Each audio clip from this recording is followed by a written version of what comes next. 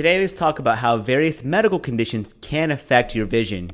The first thing I want to talk about is cataracts. Cataracts is one of the most common things I see in my clinic, and cataracts causes blurring of vision for far away and up close. Colors also appeared washed out, and it's like having that yellow filter, commonly used in the Breaking Bad, for example.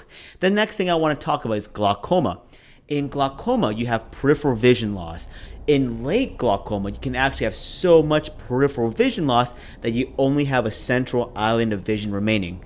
The crazy thing about glaucoma, you can still be 20/20 with this much vision left. Now, let's talk about macular degeneration.